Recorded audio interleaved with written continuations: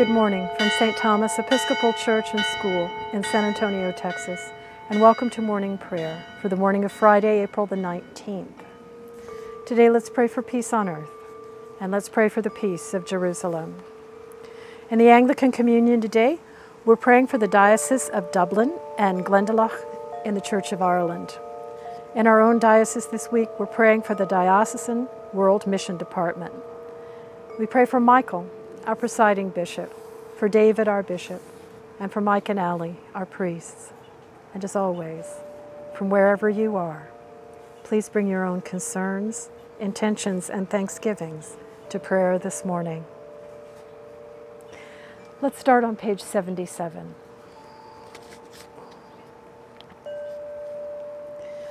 Alleluia, Christ is risen. The Lord is risen indeed. Alleluia. And on page 79, let us confess our sins against God and our neighbor. Most merciful God, we confess that we have sinned against you in thought, word, and deed, by what we have done, and by what we have left undone. We have not loved you with our whole heart. We have not loved our neighbors as ourselves. We are truly sorry, and we humbly repent. For the sake of your Son, Jesus Christ, have mercy on us and forgive us, that we may delight in your will and walk in your ways, to the glory of your name. Amen. Almighty God, have mercy on us. Forgive us all our sins through our Lord Jesus Christ. Strengthen us in all goodness, and by the power of the Holy Spirit, keep us in eternal life. Amen. Lord, open our lips, and our mouth shall proclaim your praise. Glory to the Father, and to the Son, and to the Holy Spirit, as it was in the beginning, is now, and will be forever. Amen. Alleluia. Alleluia, the Lord is risen indeed. Come, let us adore him. Alleluia. Our psalm for today is Psalm 105, part 1, and that's on page 738. Give thanks to the Lord and call upon his name. Make known his deeds among the peoples. Sing to him, sing praises to him, and speak of all his marvelous works. Glory in his holy name. Let the hearts of those who seek the Lord rejoice.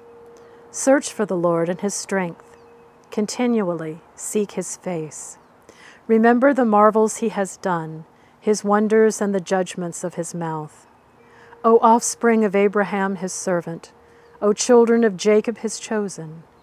He is the Lord our God, his judgments prevail in all the world. He has always been mindful of his covenant, the promise he made for a thousand generations, the covenant he made with Abraham the oath he swore to Isaac, which he established as a statute for Jacob, an everlasting covenant for Israel, saying, To you will I give the land of Canaan to be your allotted inheritance. When they were few in number, of little account and sojourners in the land, wandering from nation to nation, and from one kingdom to another. He let no one oppress them, and rebuked kings for their sake, saying, Do not touch my anointed, and do my prophets no harm. Then he called for a famine in the land, and destroyed the supply of bread. He sent a man before them, Joseph, who was sold as a slave. They bruised his feet in fetters, his neck they put in an iron collar, until his prediction came to pass. The word of the Lord tested him. The king sent and released him the ruler of the people set him free. He set him as a master over his household, as a ruler over all his possessions, to instruct his princes according to his will, and to teach his elders wisdom. Glory to the Father, and to the Son, and to the Holy Spirit, as it was in the beginning, is now, and will be forever. Amen. Let's go to our readings. We're going to skip ahead a little in the book of Exodus. Um, we're going to go to chapter 24, and we're going to read all of that chapter from verse 1 through verse 18. Then God said to Moses, Come up to the Lord, you and Aaron, Nadab and Abihu, and seventy of the elders of Israel, and worship at a distance. Moses alone shall come near the Lord, but the others shall not come near, and the people shall not come up with him. Moses came and told the people all the words of the Lord, and all the ordinances, and all the people answered with one voice and said, All the words that the Lord has spoken we will do. And Moses wrote down all the words of the Lord. He rose early in the morning and built an altar at the foot of the mountain, and set up twelve pillars, corresponding to the twelve tribes of Israel. He sent young men of the people of Israel, who offered burnt offerings and sacrificed oxen as offerings of well being to the Lord. Moses took half of the blood and put it in basins, and half of the blood he dashed against the altar. And then he took the book of the covenant and read it in the hearing of the people, and they said, All that the Lord has spoken we will do, and we will be obedient. Moses took the blood and dashed it on the people, and said, See the blood of the covenant that the Lord has made with you, in accordance with all these words. Then Moses and Aaron Nadab and Abihu and seventy of the elders of Israel went up, and they saw the God of Israel. Under his feet there was something like a pavement of sapphire stone, like the very heaven, for clearness. God did not lay his hand on the chief men of the people of Israel. Also they beheld God, and they ate and drank. The Lord said to Moses, Come up to me on the mountain and wait there, and I will give you the tablets of stone with the law and the commandment which I have written for their instruction. So Moses set out with his assistant Joshua, and Moses went up into the mountain of God. To the elders he had said, Wait here for us until we come to you again, for Aaron and Hur are with you. Whoever has a dispute may go to them. And then Moses went up on the mountain, and the cloud covered the mountain. The glory of the Lord settled on Mount Sinai, and the cloud covered it for six days. On the seventh day he called to Moses out of the cloud. Now the appearance of the glory of the Lord was like a devouring fire on top of the mountain in the sight of the people of Israel. Moses entered the cloud and went up on the mountain. Moses was on the mountain for forty days and forty nights. The word of the Lord. Thanks be to God. And our first canticle for today is the second song of Isaiah, on page 86. Seek the Lord while he wills to be found. Call upon him when he draws near. Let the wicked forsake their ways, and the evil ones their thoughts, and let them turn to the Lord, and he will have compassion, and to our God, for he will richly pardon. For my thoughts are not your thoughts, nor your ways my ways, says the Lord. For as the heavens are higher than the earth, so are my ways higher than your ways and my thoughts than your thoughts. For as rain and snow fall from the heavens and return not again, but water the earth, bringing forth life and giving growth, seed for sowing and bread for eating, so is my word that goes forth from my mouth. It will not return to me empty, but it will accomplish that which I have purposed, and prosper in that for which I sent it. Glory to the Father, and to the Son, and to the Holy Spirit, as it was in the beginning is now, and will be forever. Amen. And in our gospel reading, we're continuing in the Gospel of St. John. We're in chapter 4, and we're going to read from verse 12 through verse 17. Now, when Jesus heard that John had been arrested, he withdrew to Galilee. He left Nazareth and made his home in Capernaum by the sea, in the territory of Zebulun and Naphtali so that what had been spoken through the prophet Isaiah might be fulfilled. Land of Zebulun, land of Naphtali, on the road by the sea, across the Jordan, Galilee of the Gentiles. The people who sat in darkness have seen a great light. For those who sat in the region and the shadow of death, light has dawned. From that time, Jesus began to proclaim, Repent, for the kingdom of heaven has come near. The word of the Lord. Thanks be to God. And our second canticle for today is a song to the Lamb on page 93. Splendor and honor and kingly power are yours by right, O Lord our God, for you created everything that is, and by your will they were created and have their being. and yours by right, O Lamb that was slain. For with your blood you have redeemed for God from every family, language, people, and nation a kingdom of priests to serve our God. And so to him who sits upon the throne, and to Christ the Lamb, be worship and praise, dominion and splendor, forever and forevermore.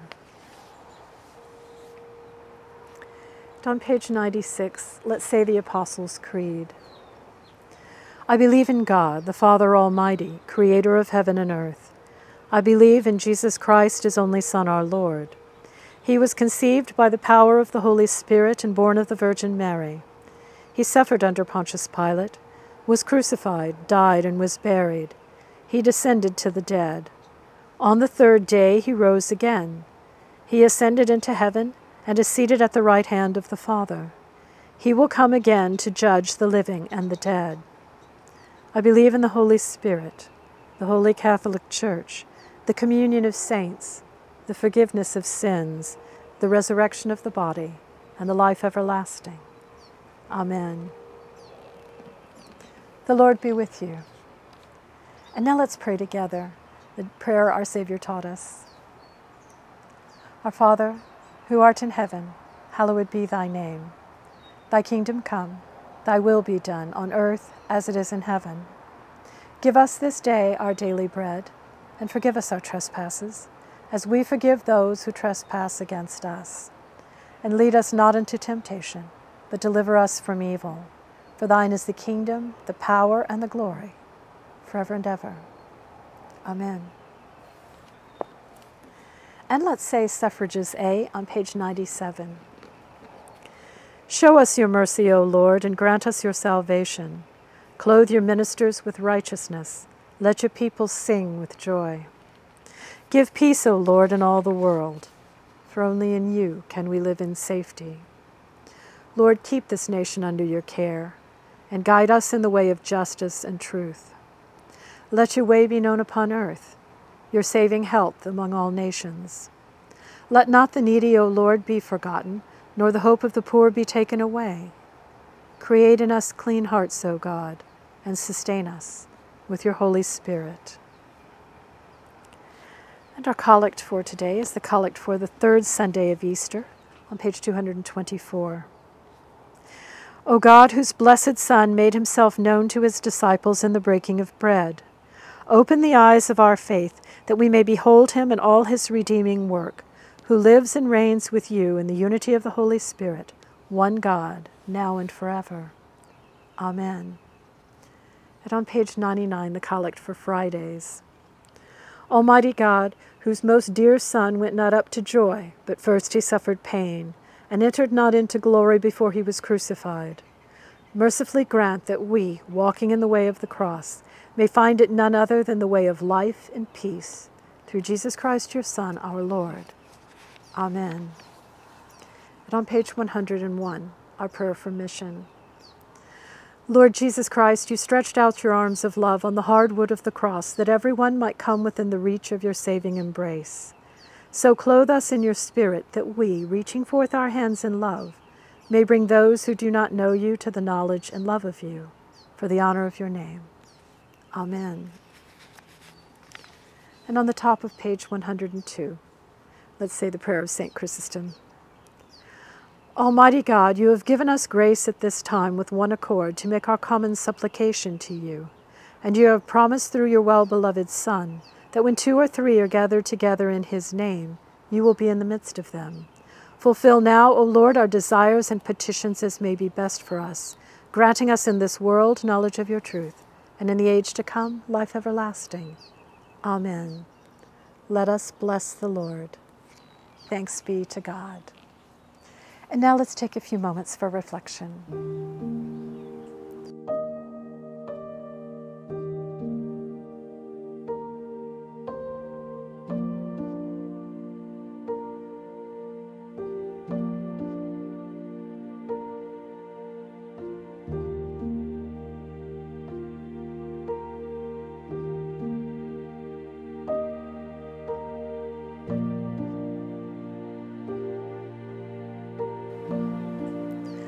Glory to God, whose power working in us can do infinitely more than we can ask or imagine. Glory to him from generation to generation in the church, and in Christ Jesus forever and ever.